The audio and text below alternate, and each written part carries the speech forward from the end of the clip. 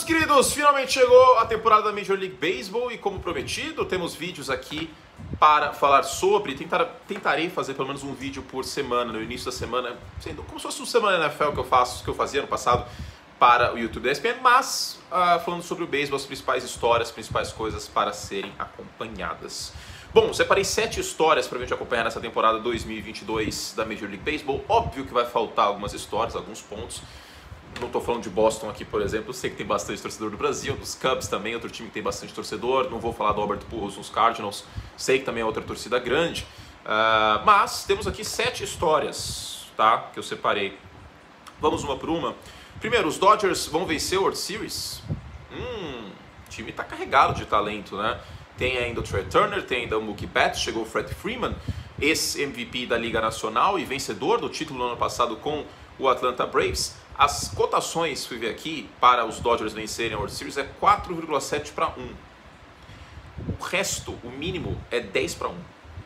Ou seja, o favoritismo é grande lá em Los Angeles. Ano passado a gente teve uma batalha semana a semana no final da temporada com os Giants pelo título da divisão. Vamos ver se isso acontece de novo, porque em, no papel o elenco dos Dodgers é muito forte. Ainda tem o Walker Buehler, Clayton Kershaw voltou, né, falando em rotação, falando também em bullpen. Teve perda, mas o bullpen ainda é muito forte. E em termos de bastão, é uma coisa absurda, né? O ataque dos Dodgers. Então, olho em Los Angeles, que agora tem o Freddie Freeman na primeira base. Segundo ponto pra gente ficar de olho. Agora vai, New York Mets. Dinheiro não é problema, né? Trouxe o Max Scherzer, ainda tem o Jacob DeGrom, que no papel é o melhor arremessador do beisebol. Mas os dois estão machucados já. Isso precisa ser estudado, cara. Como pode... Tem uma maldição no New York Mets. É uma coisa completamente inacreditável. O Mark Scherzer com lesão no, no posterior da coxa, o hamstring e o DeGrom escápula. Escápula tem inclusive um tema muito importante para você que faz academia. Eu vou te passar um exercício aqui que meu personal passou que é muito bom. Segura aquela corda que faz tríceps na altura aqui ó, do olho, aí faz assim, ó. Exercício é muito bom para escápula, para postura. Eu acho que o Jacob DeGrom poderia fazer um pouco, tô brincando. Mas ó, ano passado, sem o DeGrom, essa rotação dos Mets, ela afundou e muito forte, né, Tom? Tom concorda. Então, olho nisso, olho na questão de saúde desses dois arremessadores, porque saudáveis poder, podem levar os Mets muito longe, podem levar os Mets para ganhar a divisão. Mas essa divisão é muito dura. Esse time dos Braves é muito bem treinado pelo Snitker, é um time que volta com o Acunha, é um time que ainda tem o Alves, mesmo com a saída do Fred Freeman, é um time que tem rotação, uma rotação bem interessante, não dá para desprezar os Braves, até pela arrancada que deu no final do ano passado. Ainda tem outros times talentosos aí na divisão leste da Liga Nacional que é a mais equilibrada. Enfim, temos adição no ataque também, né? O Starling Marte, que teve 35% de aproveitamento depois do All-Star Break ano passado, Eduardo Escobar, o Mark Canha. Enfim, agora vai, Mets? Fica a pergunta. Terceiro ponto, agora vai, Yankees. Já são mais de 10 anos sem World Series. Crise no Bronx. É uma coisa impressionante, né? O time tá aí desde 2009 sem vencer a World Series. Lembrando que eu fiz o March October no meu Be The Show que vencia a World Series sobre os bets, hein, no, no, no beisebol. Tá os vídeos para os membros, para quem quiser assistir, inclusive. O Anthony Rizzo ficou, né, depois de ser trocado no ano passado. O Luke Voigt, primeira base, foi para o San Diego Padres. Essa troca é muito interessante, muito importante para os Yankees, porque o Rizzo é canhoto e faltou muito canhoto nesse lineup dos Yankees no ano passado, tá?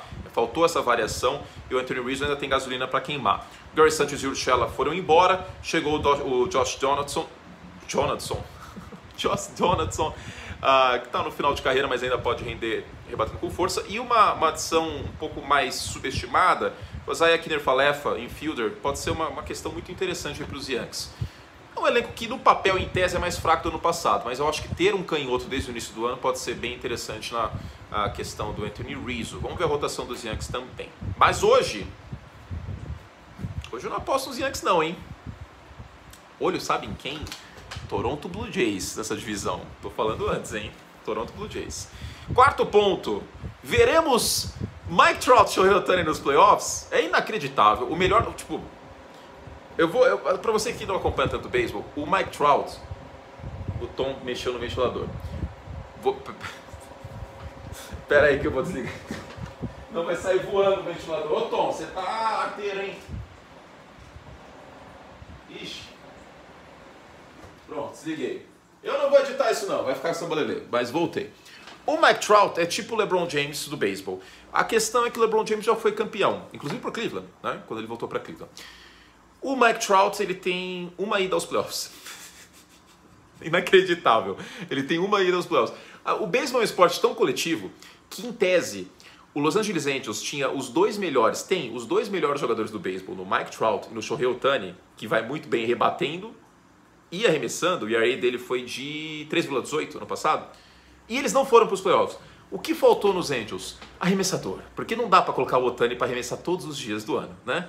Não tem como, o corpo dele não aguentaria. Então, houve algumas adições. José Iglesias para o bullpen, um cara que limita contatos sólidos, eu gosto bastante dele. O Aaron Loop também teve 0,95 de ERA ano passado, não imagino que isso vai se repetir, até porque ele tem 34 anos.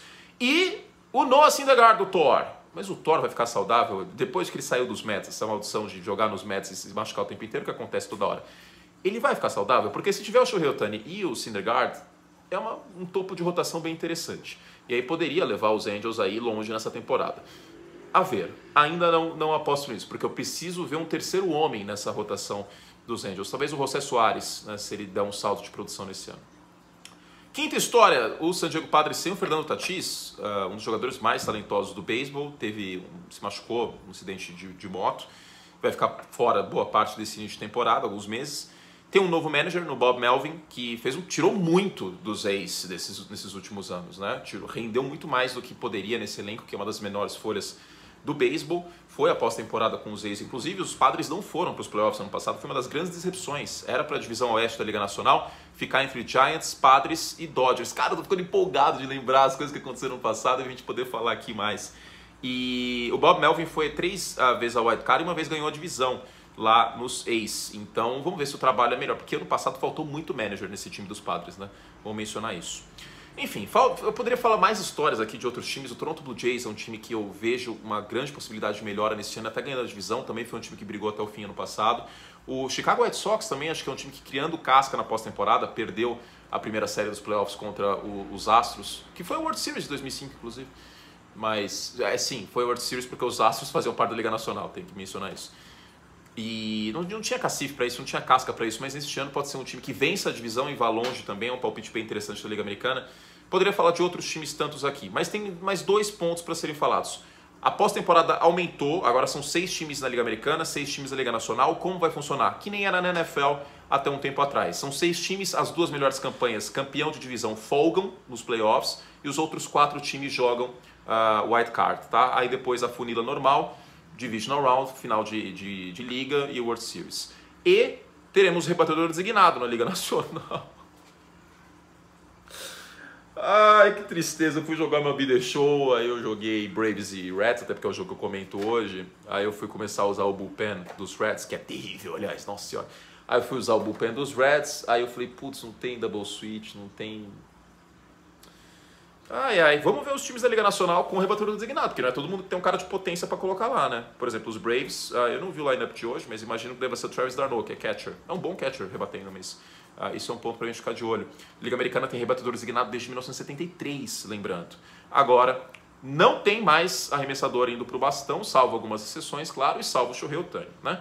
Mas é uma regra que eu não gosto. Eu gostava daquela questão daquela dúvida. Para o comentarista era maravilhoso isso, né?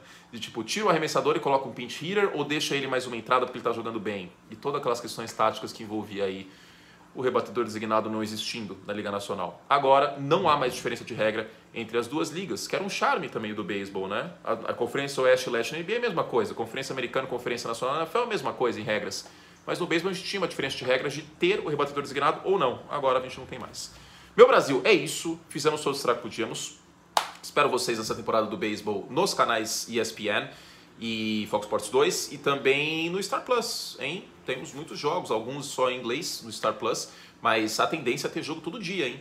Então, seja em português, seja em inglês, a gente espera aí ao longo da temporada da MLB e também minha promessa aqui de fazer vídeos semanais no, aqui no canal. Alguns outros pontos eu vou fazer vídeo para os membros, né? especialmente quando secar as outras fontes de informação. Por exemplo, agosto um mês que quase não acontece nada de NFL e a Fórmula 1 está de férias por causa do verão na Europa. Então, a gente vai equilibrando aqui as coisas. Eu sei que a maior parte de vocês que são inscritos assistem aqui por conta da NFL, mas eu acho importante a gente apresentar o beisebol porque sei também, vai ter gente comentando isso. Curte, comecei a assistir o beisebol, dei uma chance de tanto você falar, de tanto você mostrar esse fogo no seu olhar e essa alegria e eu fico muito feliz com isso.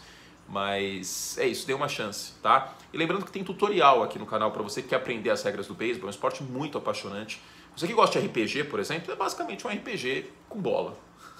É maravilhoso. É isso, tá bom? Beijo pra vocês. 9 horas hoje tem Braves e Reds na ESPN 2 e Star Plus.